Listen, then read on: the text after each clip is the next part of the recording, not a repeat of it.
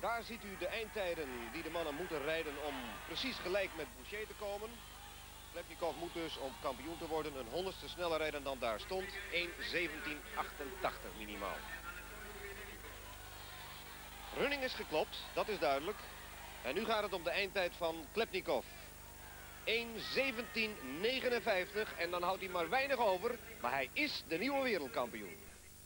De weersverwachting geldt tot morgenavond.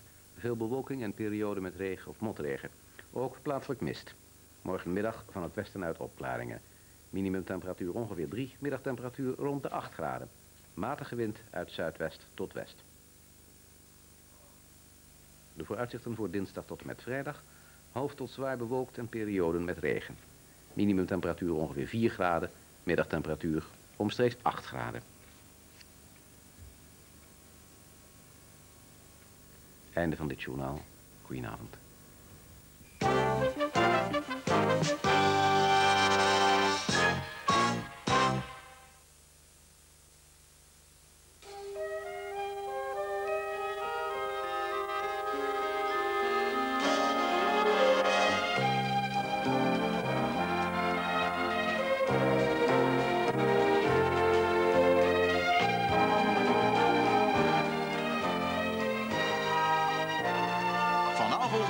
Trosavond.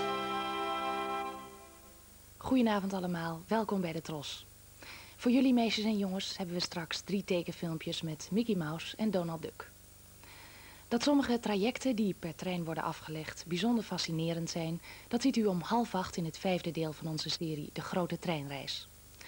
Vanavond gaat het daarin over eh, een van de grootste trajecten in Afrika, van Kaapstad naar de Victoria-watervallen, de Zambezi Express.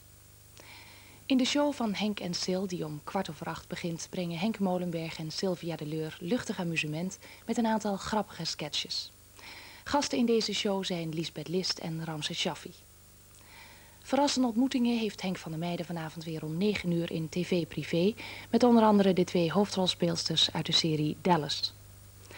In de aangrijpende televisiefilm Vanishing Army ziet u tenslotte het tragische verhaal van een beroepsmilitair die door het leger volledig in het ongeluk wordt gestort.